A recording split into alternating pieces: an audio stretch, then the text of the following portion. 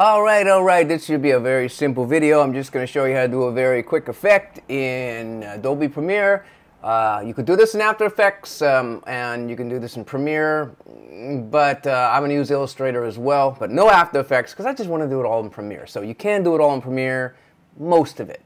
Uh, let me just go ahead and demo the effect, because I hate when people don't show me what's going on before. Uh, I'm gonna be quiet so you can hear the I'll put a little sound effect in there. It sounds a little weird. I don't, I don't know if that works. But anyway, one more time. Yeah, yeah, you just, you know, kind of like what someone would do with a, a pen. Uh, that could be yellow. Obviously, that could be any color you wanted. I just picked red. Stands out a little better. But yeah, red pen, circle the date. It's just sort of, yeah, circle the date. That's, I guess I'll call that the effect, circle the date. So if I got a calendar in here, and I already imported one, uh, got it off Pixabay, great site. I highly recommend it. Um, I can just go over and lower left, get the Ellipse tool, um, draw a little circle. It looks like it's already set up for what I did earlier. Um, move it right there. And yeah, I'm to circle that date. Um, there's the shape. And if I go inside, I got a no fill. I got rid of the fill. And a stroke with about 33. I don't know why it's overlapping there. Not enough room, I guess. Um, and that's it. So that's the effect. I could do that, but now there's no, uh, you know, kind of you know, circling effect. That's what that's what we want here. We don't want. I could fade it in, but that's that's not what I want. So I'm gonna go uh, to the very beginning here and I'm gonna uh, go and look for radial, which I already got it there, but I'll type it one more time. There's no need to do that. Radial wipe right there, double click it, it's now in there and I go up there and now the transition to zero, but 100 is, it's sort of opposite is what you think, but it's wipe it away, so I guess that makes sense.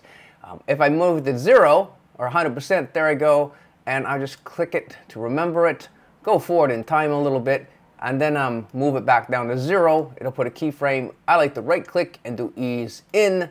And let's just go and play it. There we go. We could be done. And I don't know how much time it was, but uh, I think that's pretty quick video. However, I did want to show how to do that earlier effect where it's got, uh, I don't know, you know, that little, like, like a pen did it, you know. Now, you really can't get that with Premiere directly, at least now with a very quick and easy approach. Um, if you got Illustrator, uh, you don't have to. You can actually go out and maybe get some clip art or find a place that does it or a painting program. You know, there are a lot of programs that do it. I have Illustrator, so let's use that. There is the effect. I like to show it ahead of time, and I don't know. It's just you know, kind of looks like a felt felt pen wrote it. You could do it with other other tools, but that's what I used. So let's go ahead and start from scratch. Control N for new, and uh, you can't fit the box in there. There it goes. Okay. Now you can try to draw it I'm not very good with the mouse drawing circles, so I would spend all day and I would never get it. It just, it looks like a mouse drew it. It doesn't look like a, a hand drew it. Uh, if you got a tablet, that's great. Control A, delete. I don't want all that.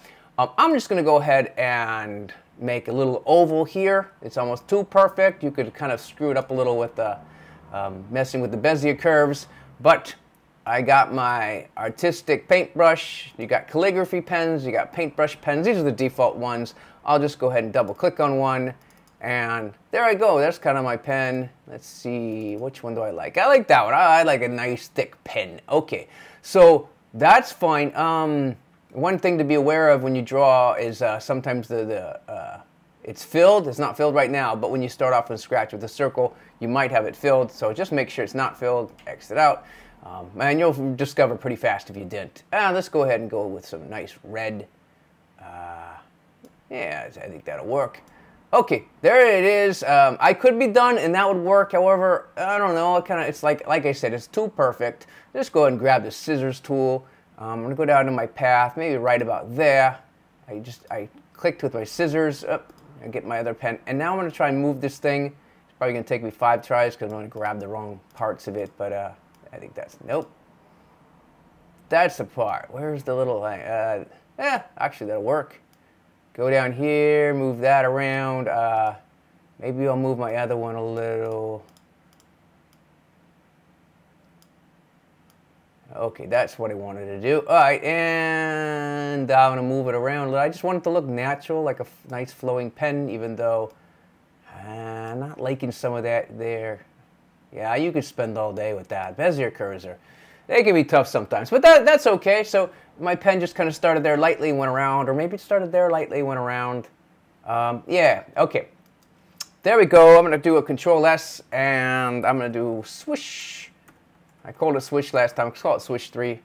Um, and let's go back over to, um, oh yeah, don't uncheck that or you're really not going to be able to use it. I don't even know why they have that as an option because you can't seem to use the files if you do that. So leave that checked. And now we're done with the Adobe Illustrator. Let's go back to Premiere. Okay, brought in my new swish and I see it there. I'm just to go ahead and drag it to the same place as my uh, other swish. And I am going to scale it up a little bit. I'm to move it up a little bit. And there you go. Now I got two swishes. Now I could uh, could go ahead and do that radial thing, but you know I did it before. Why not just go over here, Control C, um, go back to my new one, Control V. Don't even have to click in it; it'll automatically know what I'm talking about. And I'll get rid of the old graphic, and there we go. But I think you can see a problem there. At least I do is that we're starting the radial wipe at zero degrees, which makes sense for a starting point, but we don't want it there. So let's go into our radial filter uh, or effect and starting angle zero. Let's just kind of move that around. Actually, I should just do it the first frame, otherwise so it's not going to make any sense. There we go. Um, maybe one more frame over. There we go. Okay, starting uh, angle and yeah, just get it right out so it's not showing the other one. And there you go. So swoosh. I kind of like that. If I had a pen, I think that's what I would be doing. And there you go. It's that easy. Uh, yeah. Now, you know, if you're seeing this and think, well, what about this effect? Well, that was just with that basic 3D filter. You've probably seen that or maybe worked with that. That's not in this video, but basic 3D. Double click, it's in there. And then, you know, at this point, you could, uh, well, actually, put it into this one. I don't want it in that one. I actually want it in that one, but that's okay. I'm not going to go over that kind of stuff right now, but you see how to do the effect. So yeah, I was circling the day of the week with my little pen to remind me that the 7th, I got to take out the trash. I don't know, but uh, hope that helps because uh, I had trouble finding exactly the effect I wanted, and this is it, so I'm sharing it with everybody else. Uh, leave a like if you liked it.